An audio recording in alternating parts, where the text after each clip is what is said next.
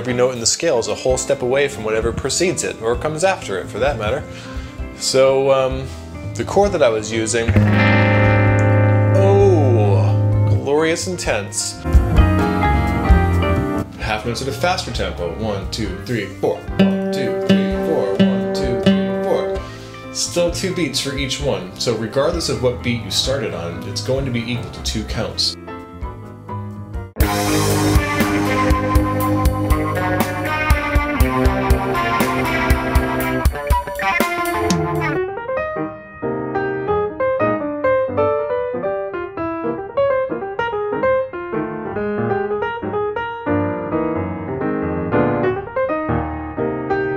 Imagine that your fingertip is trying to wiggle loose from being uh, tacked in, in place.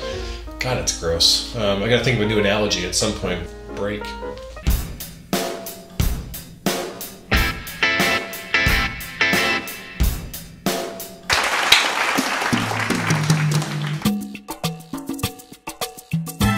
Basically, everything um, uh, in this chord is a whole step away from something else.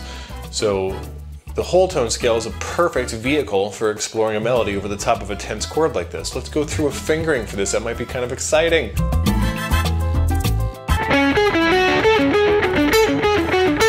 Very economical, uh, movement-free way of playing. Oh, it's so nice to have a lot of notes happen with as little movement as possible. The economics of fine guitar playing.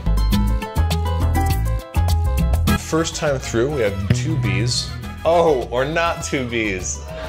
Oh, don't get mad. Stop booing me. Stop. Stop it. I didn't mean it.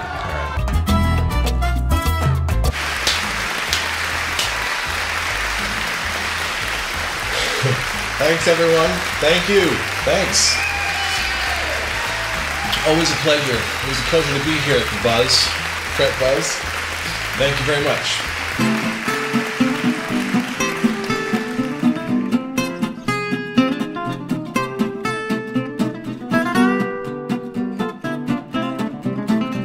Let's take like an A minor pentatonic scale for, for just for giggles. Hello, Basset Hound. How are you today?